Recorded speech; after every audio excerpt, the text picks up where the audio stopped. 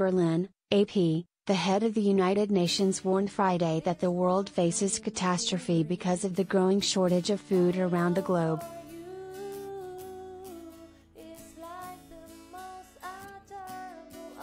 UN Secretary General Antonio Guterres said the war in Ukraine has added to the disruptions caused by climate change, the coronavirus pandemic, and inequality to produce an unprecedented global hunger crisis already affecting hundreds of millions of people.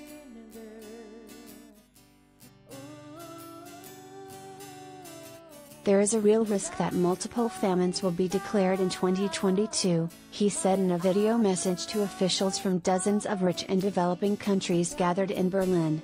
And 2023 could be even worse.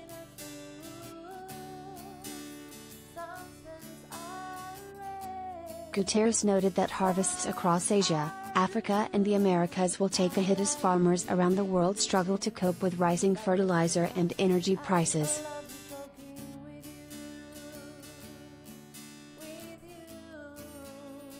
This year's food access issues could become next year's global food shortage, he said.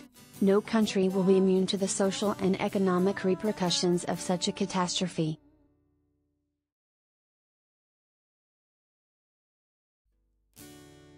Guterres said UN negotiators were working on a deal that would enable Ukraine to export food, including via the Black Sea, and let Russia bring food and fertilizer to world markets without restrictions.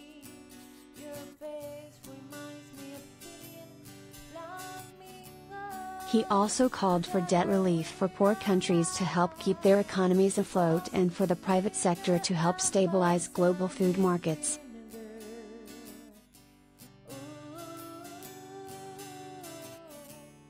The Berlin meeting's host, German Foreign Minister Annalena Baerbock, said Moscow's claim that Western sanctions imposed over Russia's invasion of Ukraine were to blame for food shortages was completely untenable.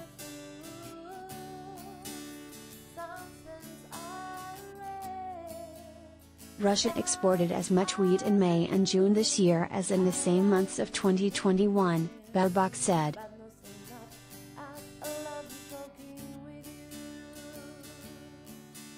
She echoed Guterres' comments that several factors underlie the growing hunger crisis around the world.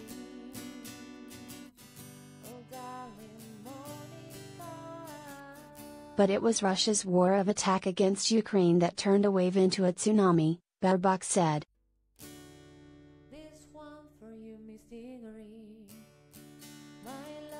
U.S. Secretary of State Antony Blinken insisted that Russia has no excuse for holding back vital goods from world markets.